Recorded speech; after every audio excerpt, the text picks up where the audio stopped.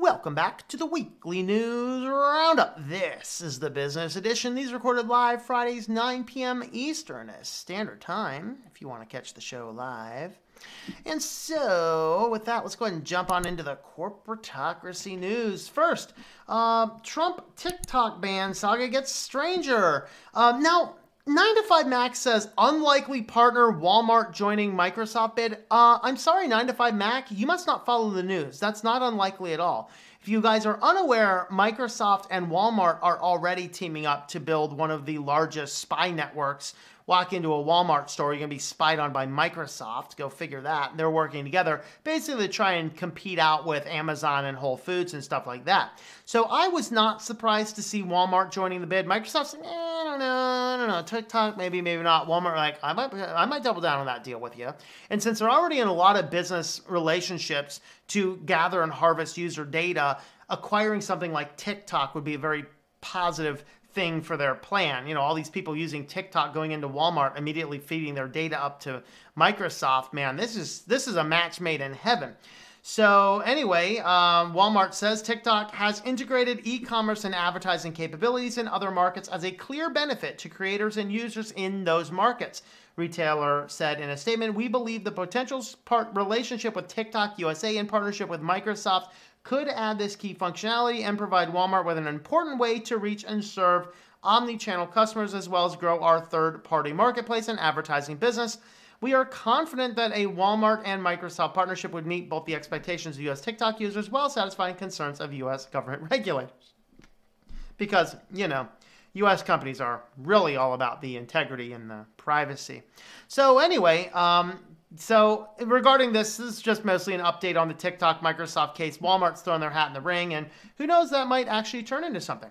Now, another update. We mentioned this article, but it came in like at five o'clock right when, uh, on last Friday, so I didn't cover it in the actual news, although I did mention it. Apple was forcing WordPress to add uh, add paid features into the app in order to push a serious uh, update.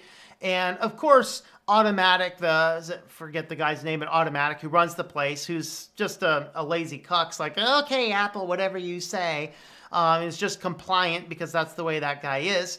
Um, and Apple came out finally said, "Oh, we didn't realize that that might cause backlash when an open source app that doesn't do anything for payment is now going to be forced to do that. And because of backlash, they apologize for any confusion we have caused. So, Apple's full statement from their uh, lying PR head we believe the issue with the WordPress app has been resolved since the developer removed the display of their service payment options from the app. It is now a free standalone app and does not have to offer in app purchases. We have informed the developer and apologized for any confusion. So, let me read, the, read that part again, this sentence, second sentence. The developer removed the display of their in-server payment option for the app. It is now a free standalone app. Hey guys, this app has always been a free and standalone app. It has never done anything to accept money. So that's the PR guy, you know, lying. How can you tell a PR guy's lying when his mouth is moving?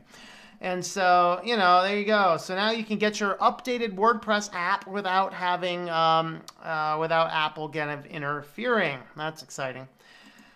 Newer news Chrome feature is creating an enormous load on global DNS root servers. This is interesting. Of course, DNS is where things are going out to check where the websites are, are supposed to go to.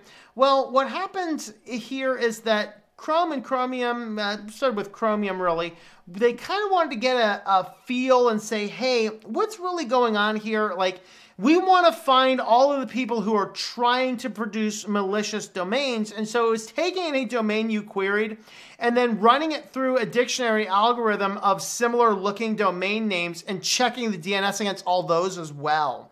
Uh, and basically keeping a lot of things. And basically was causing this massive spike of traffic to any DNS servers it was using. So this is this is the average DNS calls. This is when the feature is introduced. This is what happened in DNS calls.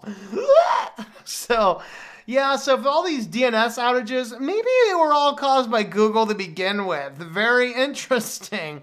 Uh, but it was definitely neat to see what's going on. Um, so basically, yeah, they were they were randomly generating similar DNS queries to everything you were doing. Very interesting. They, of course, they build it say, "Oh, we want to make sure you weren't going to." to uh, Pepsi with two eyes, and we redirect you back to Pepsi instead. Honestly, good to prevent some malware and accidentally landing on a malicious but similar website. But at the same token, yeah, maybe that's maybe that wasn't necessarily a good thing in retrospect. But eh, whatever that happens to be, right? All right, before we finish in on the news, we do have a SubscribeStar channel up now. This is in addition to Patreon. I'm not going to get a uh, get rid of Patreon altogether. Uh, but if you are interested in helping to support the channel, head on over to SubscribeStar. I know some of you guys are not a big fan of Patreon.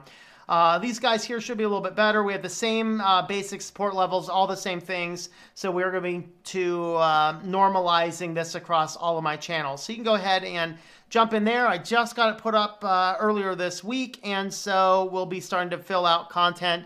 Uh, if you want to jump onto the Thursday shows as a guest, uh, that's one of the channels that you can use to do that. So head on over, and we are at subscribestar.com slash switched to Linux, and that link will be in the description of the video.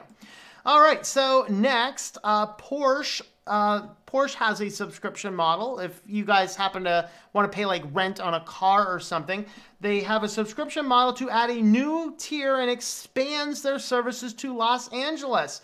So for a low, low price of starting at $1,500 per month, you can actually get yourself a Porsche subscription. Um, and then, of course, you can do a multi vehicle option that starts at $2,100 per month. So some of these companies are closing down these subscription models because they really don't make a whole lot of sense. But you know, if you're a you're the CEO of a company or something and you travel to the United States every you know every couple months, sure, why not buy the subscription service? Your company pays for most of it anyway, and you get to drive around LA in a Porsche. Um, but anyway, that's a thing. And not not not necessarily for the average crowd, but hey, why not if you want a Porsche without actually having to buy one? For a, a, a sleek 1500 to 2100 a month, you can rent yourself your own individual Porsche.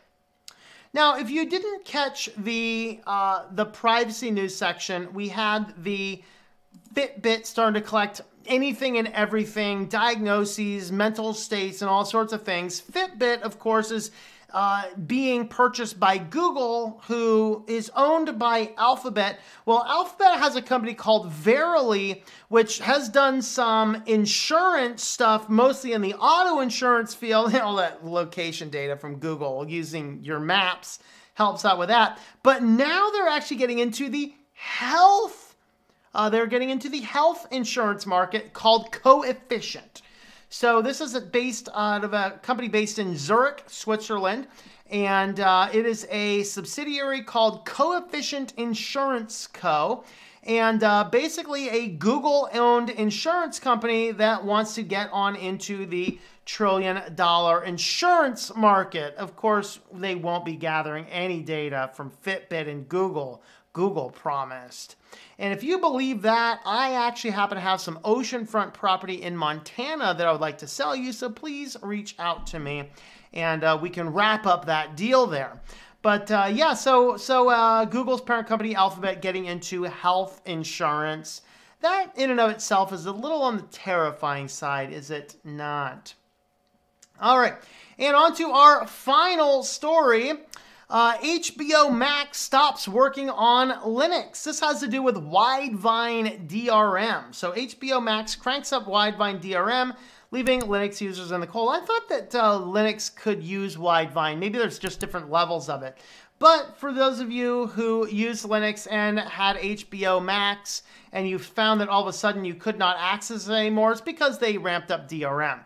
Now, you guys that are affected by this, you need to call HBO and say, you know what, HBO, um, I use Linux, so I'm going to need uh, I'm going to need uh, to cancel my service. If you have any contracts or anything, they're null and void because you intentionally did something to cause my service to change. Unless you'd like to change that service back and allow me to continue using it because, hey, I'm not using Windows spyware or Mac spyware. Um, I'm using Linux. and really that's the the what you should be doing. Don't roll over for these people, guys. Don't be like, oh, okay, I guess I'll switch back to my Windows computer for watching my movies. No, no, don't do that. Don't do that. You just got to stop using the service. Um, sure, the Linux target group may not be that big of a deal, but you got to let them know that, hey, there are actually customers who do use Linux. So definitely uh, that's something to keep in mind. So there's the articles for today. Let me know your thoughts about those. Anything else? Follow along on the social media, particularly if you're not getting notifications and you would like to be. Uh, we are on Twitter, we are on Gab, we are on Minds, we are on Reddit, and we are on Mastodon. We are switched to Linux at Fosstodon over on Mastodon. So have a look at those. Links for those are in the description down below. Thanks for watching, and we'll see you next time. Thank you for watching this video from Switched to Linux. This channel would not be possible without the backing of the program supporters scrolling on the screen now. You can be a supporter at Patreon at patreon.com slash T-O-M-M or at thinklifemedia.com. I also want to thank the open source community who creates such excellent software that makes producing this show possible. Please remember to support your software communities. Thank you, and I hope that you enjoy switching to Linux.